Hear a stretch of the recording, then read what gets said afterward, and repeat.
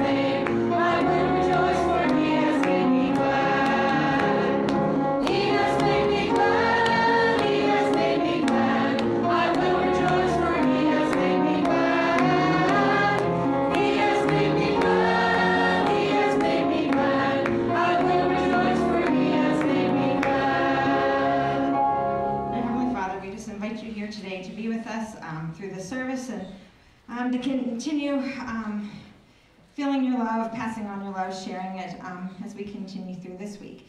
Be with us today in the service that we would all find something um, that would resonate with us and stick with us. In Jesus' name, amen. You may be seated. And I have one definite announcement. Do I have any other announcements? Um, next Monday, a week from tomorrow, is the ladies' luncheon at Haas's at eleven o'clock, and if you could please let me know, that way I can prepare the seating. Yeah, there's more. You still have time.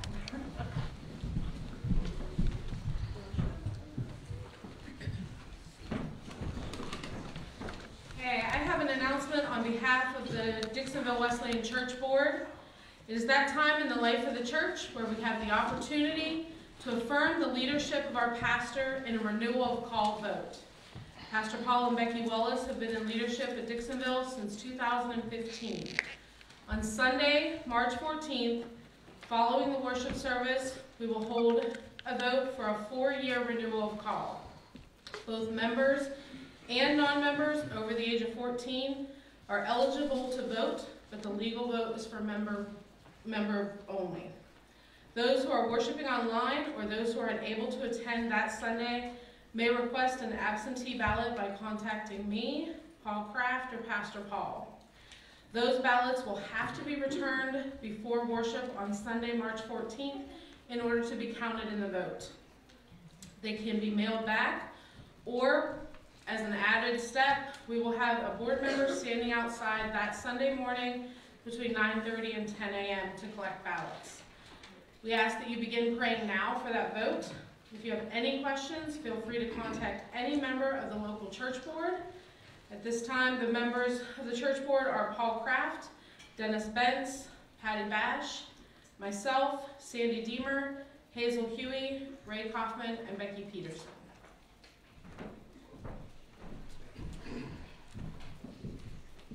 Connie. Other ones?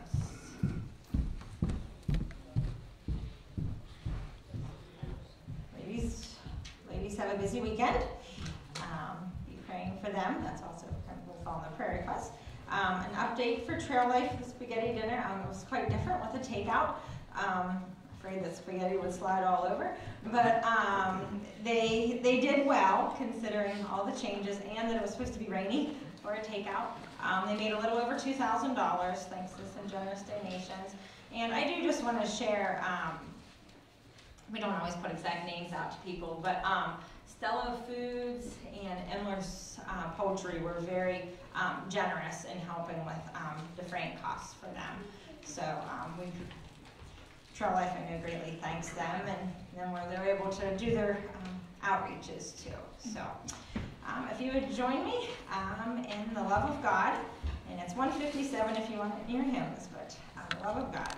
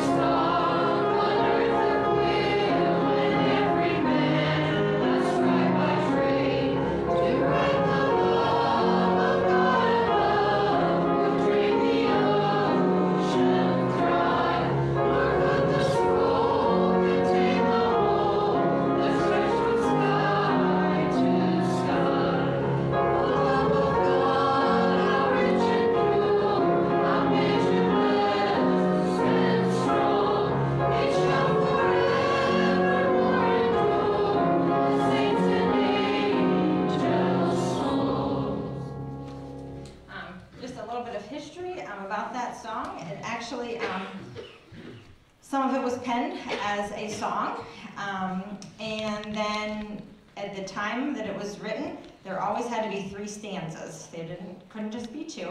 So um, he came upon a poem, and that's where um, the third verse was penned. But then he went and changed a little bit in the other stanzas. Um, so actually, if you look this up, because I was looking to cut and paste to avoid um, typos and errors, um, whenever you look it up, I got the poem, so I'm practicing it, going through it, and I had the poem typed in the PowerPoint. So I had to go back and change it to the song because it's similar but yet different.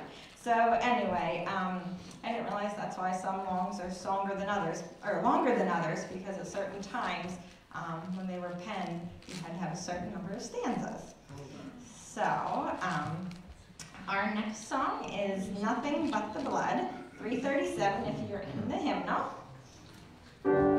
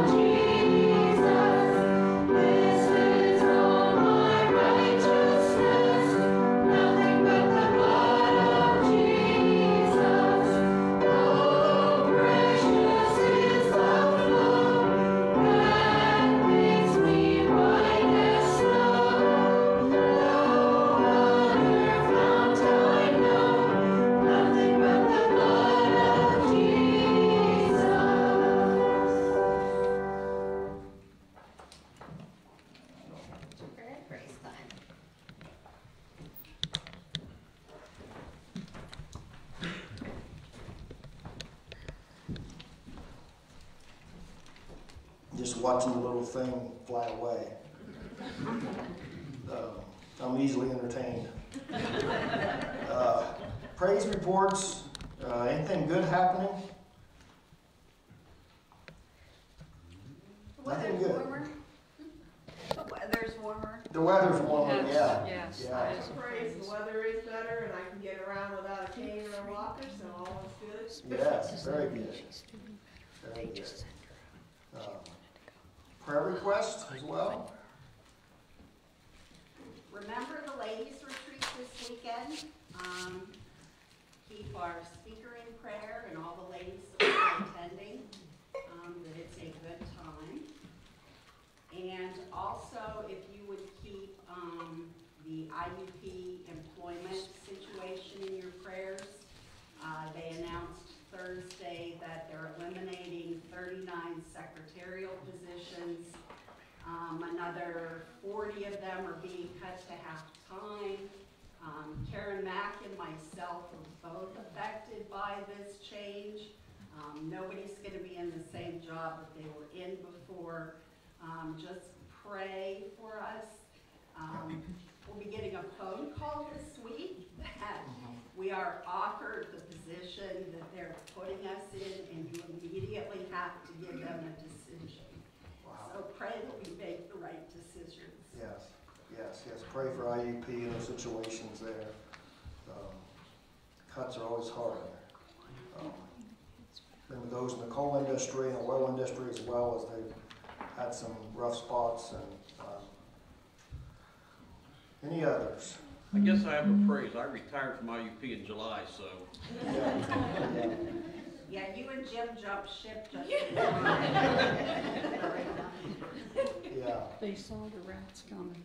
yeah, the, yeah, Butch?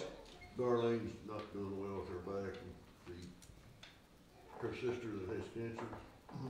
we took her granddaughter in, now she's got a tumor in her lung. Oh she's only like seventeen, eighteen. Okay. So remember Darlene, they're back and her, her granddaughter, who has a tumor in the bone as well. Her sister's granddaughter. Sister's granddaughter, yeah, sister's granddaughter.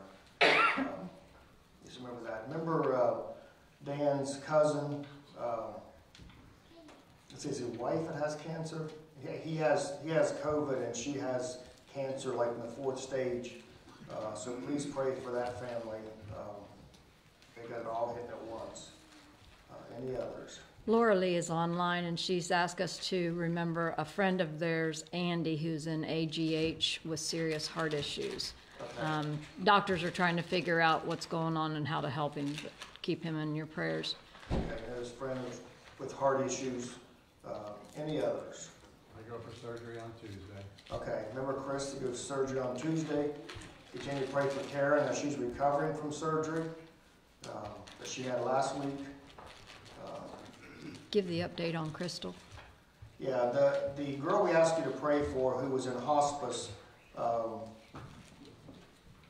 she's, she's doing better in that she decided she didn't want to be in the hospice in there anymore, so she got well enough to go out, and she, I think she has hospice at home now, um, but she said they was drugging her up too much, and, and, uh, she couldn't do anything, uh, but they, because she's in hospital, they couldn't test her to see if she's better or not, because they said her organs were shutting down, and she had two or three days to, a couple weeks to live.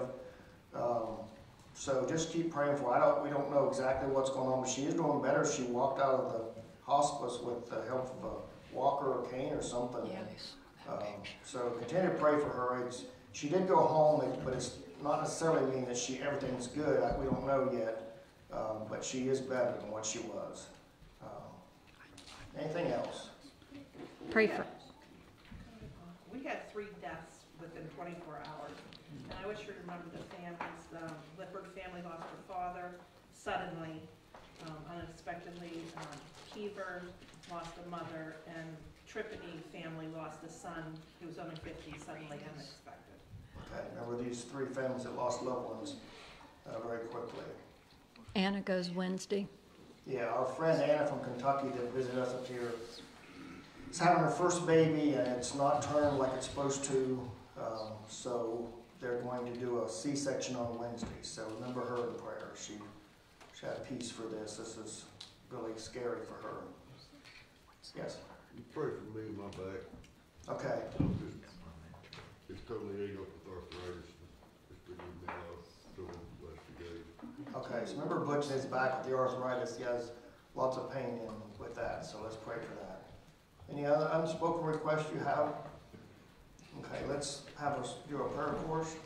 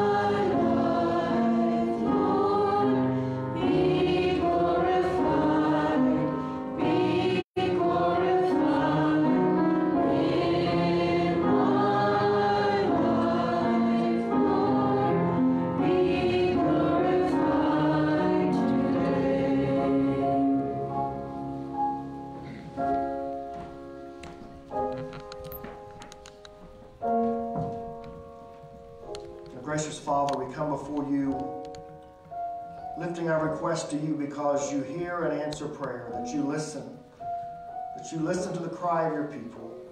Father, hear all the many requests that were voiced, Lord. We pray for those who have lost loved ones who need your comfort. Wrap your arms of love around them and comfort them.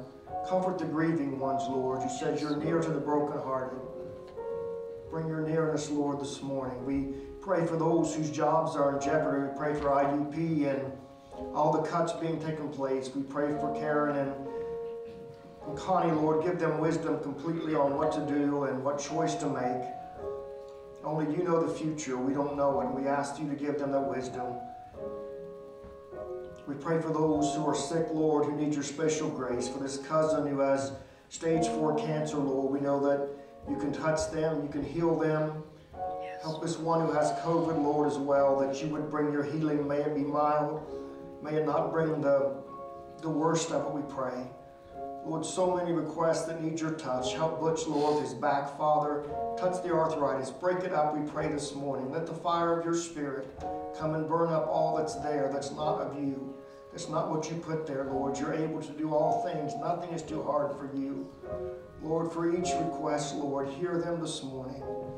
Please hear us. Help Anna, Lord, as she goes in for C-section, Lord. If you don't choose to turn the baby, Lord, we ask you to turn it if possible. Lord, you know best. You see things we don't see. We pray that you would touch each one. Touch Ashley, Lord, as she needs your healing touch on her body as well. That you would touch the lung, Lord, and bring healing to it. We pray that you would, each request given in the Sunday school hour, that you would hear those, Lord, and meet those needs. Father, we thank you that we're not just a big conglomeration, that you see us just a group, but you see us individually. You know us by name. The very hairs on our head are counted, Lord. You know us completely. And Father, for each request, each unspoken request, Lord, each one is crying out of their heart to you today. Hear them, we pray. We lift them before you. We thank you that you listen. We thank you that you care enough to listen and to come to our aid, to give us what we need. For that we praise you in Jesus' name. Amen. You may be seated.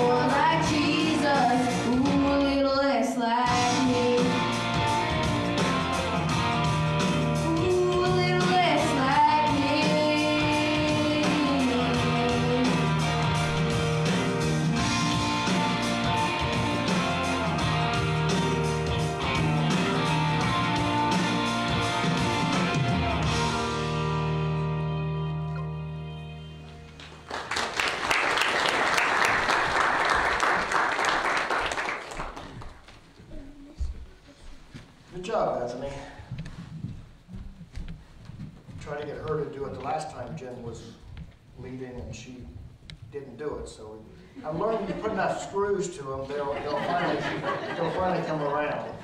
And, uh, so she did a great job. Have the kids come up front.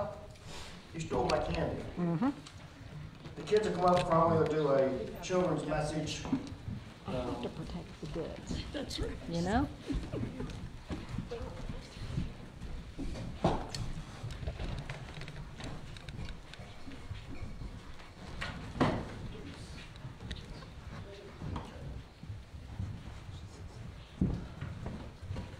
Okay, you know what this is? A lighter, what is that? Okay. What is this? See? It really is water, it's nothing, it's nothing else. Think of summer, okay. Oh, baptize Anthony back there. Jesus said something, he said, um, well, in fact, John the Baptist said, I baptize you with water, like this, for repentance. He said, But after me comes one who's more powerful than I, whose shoes or whose sandals I can't even carry, and he will baptize you with the Holy Spirit, he said, and fire. And so fire was to be the symbol of the baptism of the Holy Spirit, uh, and water was the symbol of the baptism uh, with water for repentance. And he said, one is for repentance. In other words, when we ask Jesus to come into our heart and forgive our sins, we're baptized, and the water symbolizes washing away of our outward sins of things that we've done. But then he said, there's another baptism, not just with water, where we dunk them under the water or we sprinkle them. Uh, that's a baptism with water. He said there's a second one that's for inner cleansing because Jesus comes in to live with us, but there's still part of us that wants to do wrong. There's still part of us that wants to uh, do the bad things. And so our nature gives us the wrong disposition, the wrong desires. And when we get saved, when we get baptized with water, we make Jesus our Savior. When we get baptized with the Holy Spirit, we make him our Lord. He becomes the master. He becomes the control of our lives. And uh, so when they received the Holy Spirit, uh, when they were saved, when you're born again, the Holy Spirit comes to live in you. And the water symbolizes the Spirit coming in us. But then he says, Jesus is going to baptize a second time. But this time it's going to be with fire and the Holy Spirit being a symbol of fire, not just with water. So it was something different. It was something deeper than what the other were. Many were baptized with water. Most people who have been born again have been baptized with water to show that their sins have been washed away. But he said everybody also needs the second baptism, which is not with water again this time, but fire, which fire which cleanses. It, it purifies. It takes away our wrong desires inside of us. And it's like uh, if you want to rob a bank, you don't want to. but if you did, uh, and You wanted to know what the safe combination was. You wanted to know where the security cameras were. You wanted to know how much money was in the bank. How would you know that? Well, what would help you to rob a bank? Scene. Scoping the scene? What, what other thing would, you- would you do that you couldn't see by just walking around outside? You need somebody inside. You need somebody that works in the bank. Somebody that knows all that stuff. And so when we have become born again, the Holy Spirit lives in us, but our sinful nature still does too. And it's like an insider. So when the devil tempts us from the outside, our sinful nature says, yeah, yeah, go for that. Do the bad thing. Don't do what you're supposed to do. Disobey your parents. Lie to your parents. And so that's what's in there. That's what he wants us to get burned up by the Holy Spirit coming, the, the disposition, the bent towards doing the wrong thing, so that our lives will be straightened again to do the right thing. And so he says, be baptized with water for the repentance of sins, but then he said, Jesus is coming to baptize not with water again, but with fire. And so remember those two baptisms, one with water, one with fire. One cleanses deeper than the other. The one is just for the outside. So let us pray, and uh, then you can get your candy from Becky. You stole the candy from me. Heavenly Father, we pray that you would bless each one of these young people, Lord, to be baptized with water, Lord, to symbolize that they've let you into their heart and forgave their sins. But Lord, help them to know the baptism of the Holy Spirit as well, that will cleanse them deep within and, and change their disposition, change their, their uh, bent towards doing what is wrong. Give them a straightness in their life that comes by your Holy Spirit, with your fire coming to cleanse us. In Jesus' name. Amen. Go there and get your candy. I know it'll burn. Go on, You blonde. think it'll burn? Go in Well, blind, whatever. try that. Nice job, Anthony. Becky's got candy over here. I can still reach in. Yeah, you can.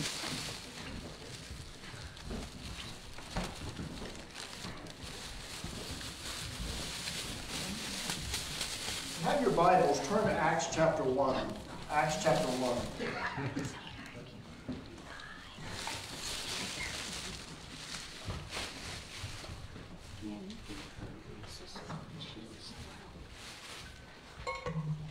Where's the clicker at? Is it with the candy? Nope.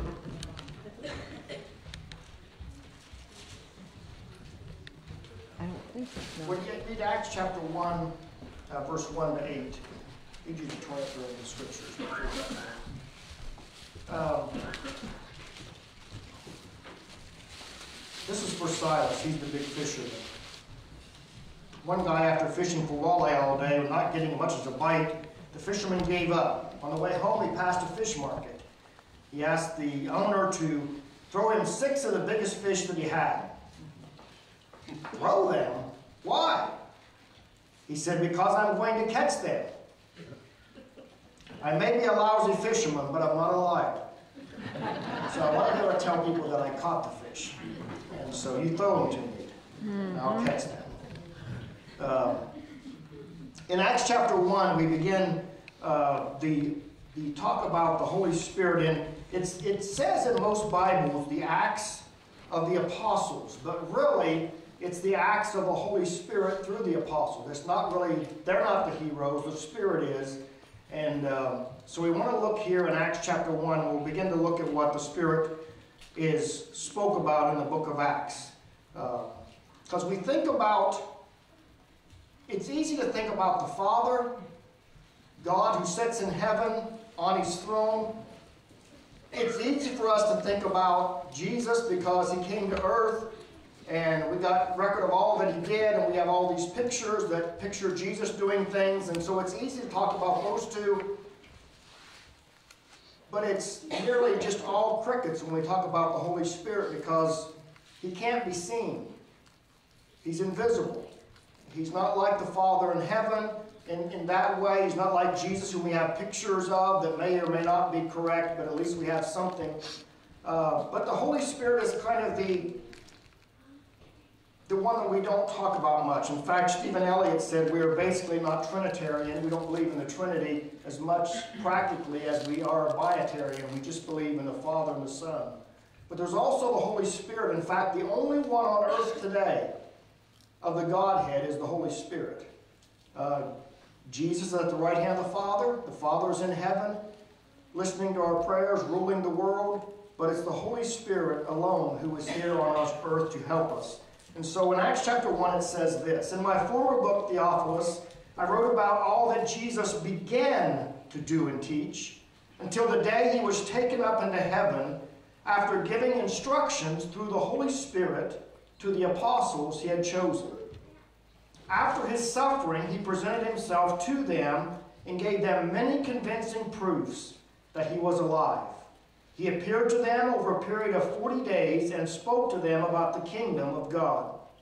And on one occasion, while he was eating with them, he gave them this command Do not leave Jerusalem, but wait or tarry for the gift my Father has promised, which you have heard me speak about. And again, he, he re, re says, retells what John had said. He said, For John baptized with water, but in a few days you will be baptized with the Holy Spirit. Then they gathered around him and asked him, Lord, are you at this time going to restore the kingdom to Israel? And he said to them, It is not for you to know the times or the dates my Father has set by his own authority. But but you shall receive power when the Holy Spirit comes upon you. And you shall be my witnesses in Jerusalem, in, in Judea, and in Samaria, and to the ends of the earth. After this, after he said this, he was taken up before them, before their very eyes, and a cloud hid them from their sight. They were looking up intently into the sky and he, as he was going up, when suddenly two men dressed in white stood beside them. Men of Galilee, they said, why do you stand here looking into the sky? This same Jesus, who has been taken from you, will be from into heaven, will come back in the same way that you have seen him go into heaven. Heavenly Father, help us to understand that which is somewhat difficult. Let your Spirit speak to us today and understand your word. Make it alive to us. Only you can do that. In Jesus' name, amen. As I said, we often minimize what the Spirit has done in our lives, or we minimize it because it's hard to hard to understand. Um, Robert Morris uh, wrote the book "The God I Never Knew," and he talks about the Holy Spirit. Uh, says how friendship with the Holy Spirit can change your life. Billy Graham wrote the book called "The Holy Spirit: How to Activate the Spirit's Power in Your Life" or God's power. Francis Chan, when uh, Bob uh, Budabal was teaching in Sunday school down there when he first came, used the series from Francis Chan called The Forgotten God. The Forgotten God. And he talked about the Holy Spirit. Um, but here we see that God, the Holy Spirit, can, can speak through you just as he did for David. I got it off on. God, the Holy Spirit, can speak through you. Now, we didn't read this part, but if you go over uh, a little farther in Acts chapter 1, verse 16, he talks about the Holy Spirit speaking in the Old Testament. Not just the New Testament, but in the Old Testament. And he said there in verse 16, Brothers, he said, the scriptures had to be fulfilled concerning Judas, who guided those who arrested Jesus. This was predicted long ago by the Holy Spirit speaking through King David. It was the Holy Spirit speaking through King David. Now, we are not uh, going to speak for God in the same inspired way that David did, who was part of uh, Holy Scripture, but God still wants to speak through us today. He still wants to use His Spirit to help us speak to other people. The Holy Spirit was involved in the Old Testament, but He's become the main focus of the New Testament when Jesus left. Jesus said when He was leaving, I'm going to go away. But I'm going to send the Holy Spirit, the Comforter, to you, and it's better that I go away so that the Holy Spirit may come. It's not less than, but it's better, he said. And in the Old Testament, we see what the Spirit did. It says in different times, and the Spirit of the Lord came upon Gideon, for, for one, and he blew the trumpet, and he called all the men together uh, to go to war. The Holy Spirit came upon him. And it's Samson that we think about. And if you see pictures of Samson in, in, in art, he's always this huge, big, muscled guy, and, and he's so powerfully looking, but that's not reality. Because though he had great strength, it wasn't in himself, it wasn't in his ability. It would always say, and the Spirit of the Lord came upon Samson, and he did this. It was the power of God, it wasn't just himself. And the Spirit would come upon Samson with power, and says, and Samson tore that lion apart like one who tears a young goat apart. He had nothing in his hand, no weapon. He just grabbed this lion and he ripped it apart because the Spirit of the Lord came upon him. In the Old Testament, it was often temporary. The Spirit of the Lord would come upon them for something, and then that would be it. He, he would be gone. He would come upon them for this. And for Samson, it was every time seemingly that he had supernatural strength, it was because the Spirit of God came upon him. There were other times he didn't live like he ought to. but still, it was the Spirit of God who gave him strength to battle like he did. It says the Spirit of the Lord came upon, powerfully upon him, and the ropes around him he was tied up with became like charred flax, and he just broke them. In the Old Testament, Saul, the first king of Israel, it says Samuel predicted him. He said, The Spirit of the Lord will rush upon you, and you will prophesy with them and be turned into another man. And in verse 10 of 1 Samuel 10, it says, And the Spirit of the Lord did rush upon him, and he prophesied with them.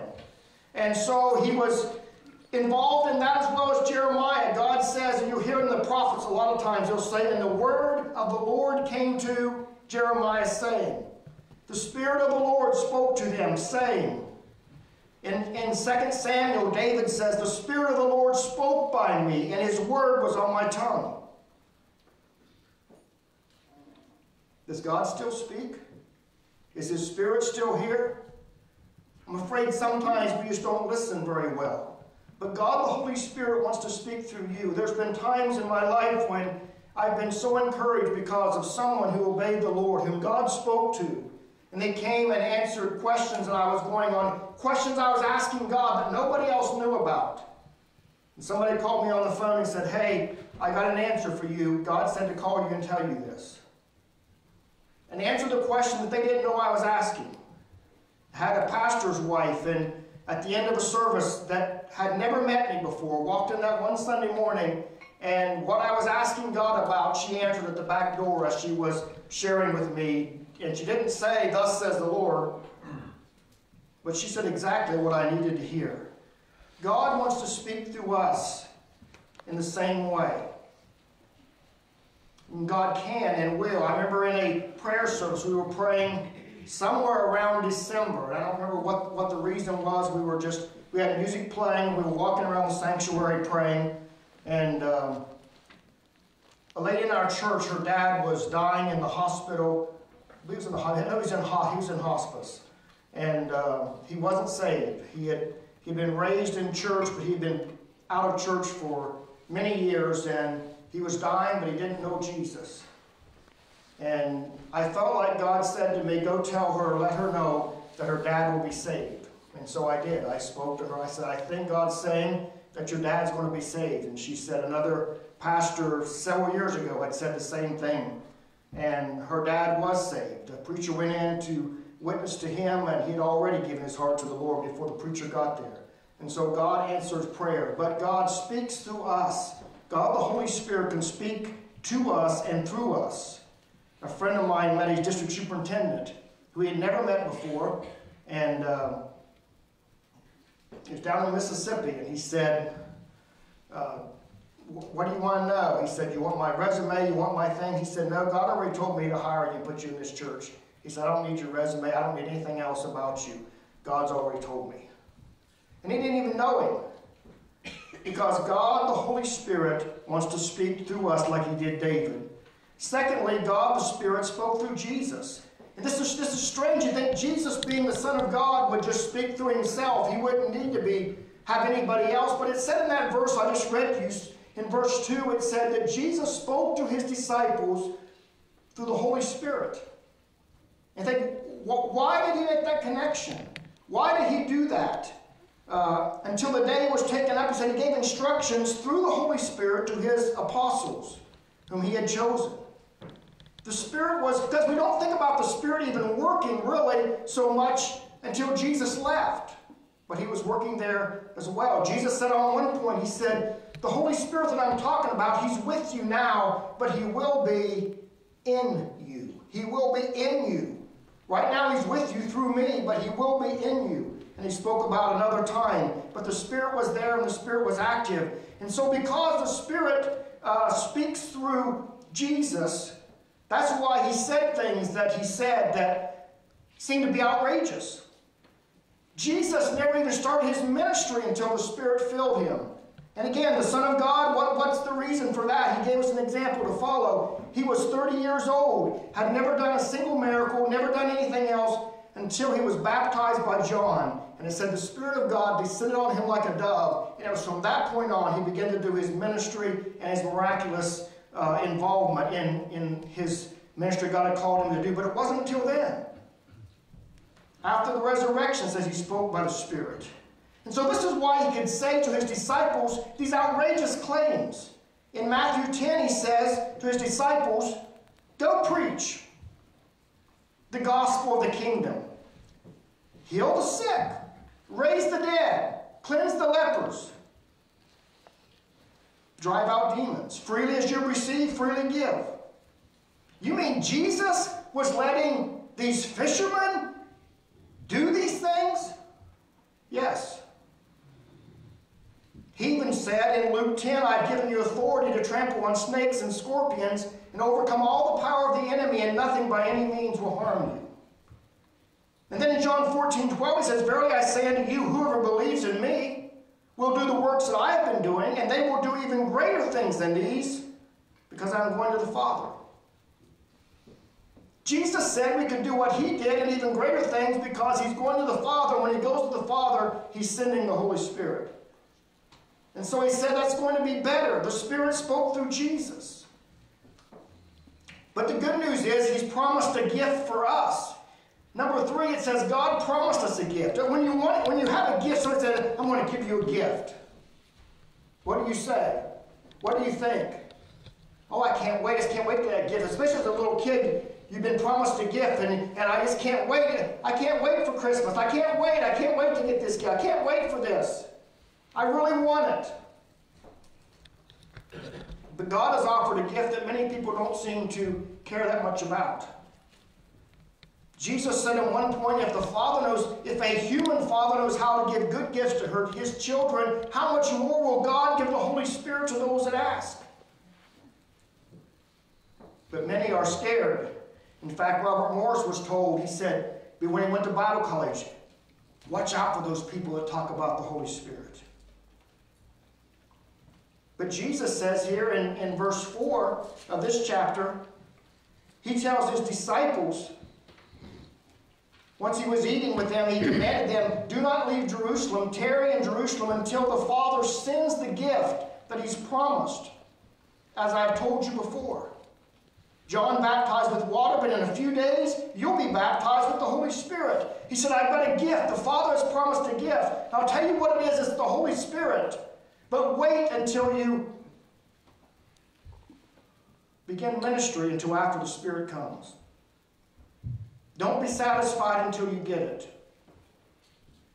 The Father has promised us a gift the gift of the Holy Spirit. Again, we don't earn it.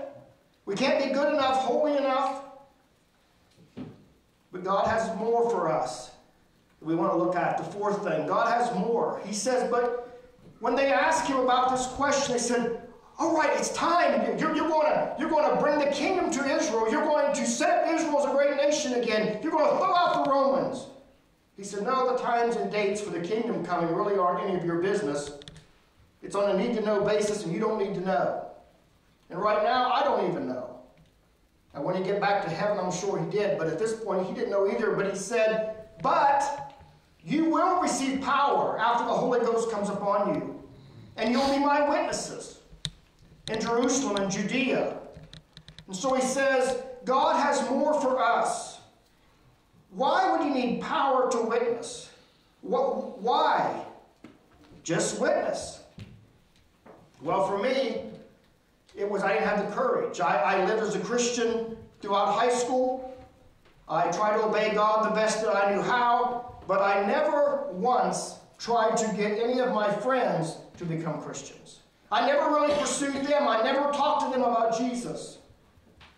Why? Probably because I was afraid. Didn't have the courage. But after in college and after being filled with the Spirit, He gave me the power to go back to Chuck and to Pat, the two guys I hung around with. And Jim Storrs went with me and we talked to them about Jesus. For the first time, I was able to share with them not only that I was a Christian, but I was trying to get them to become Christians as well. But it took the Holy Spirit because I didn't have the courage. Peter didn't have the courage.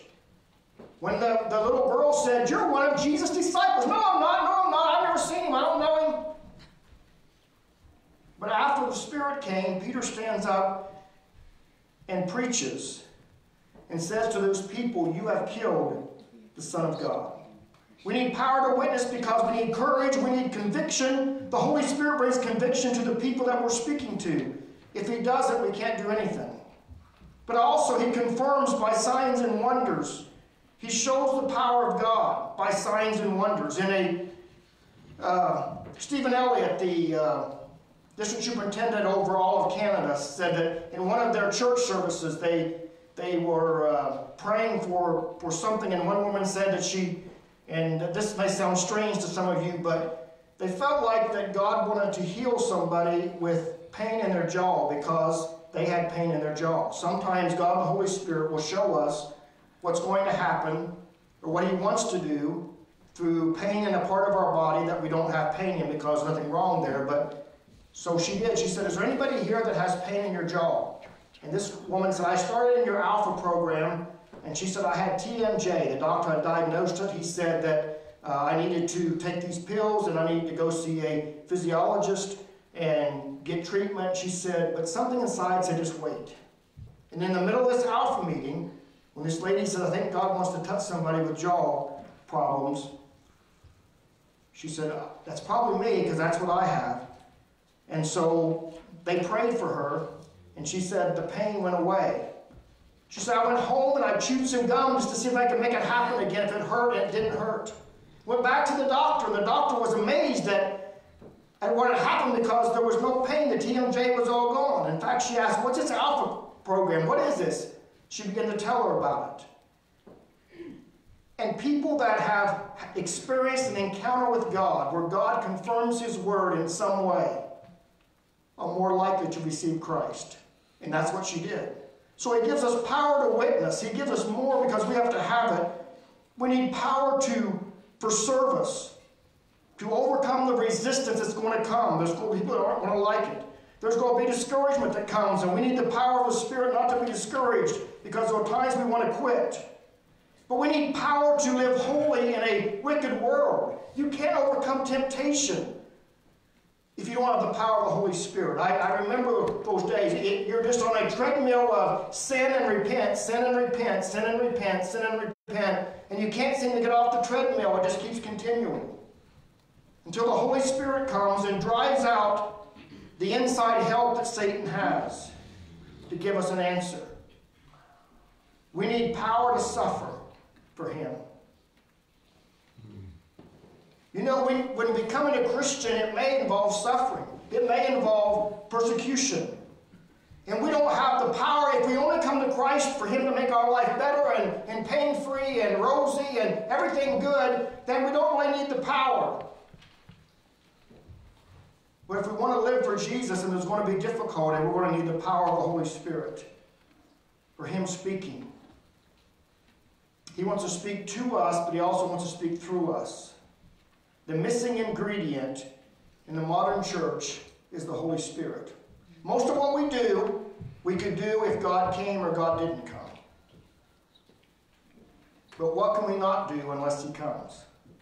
What's the missing ingredient? You, you ladies have well, if you, maybe I shouldn't say this. There's probably been times you made something you left an ingredient out of. Like yeast, or something and it won't rise and you can't figure out why, or you forgot to put the sugar in and it doesn't come out quite right. When there's a missing ingredient, it's not right. The missing ingredient in the modern church is the Spirit being involved. God can speak. Stephen Elliott told about being in a family camp in Michigan.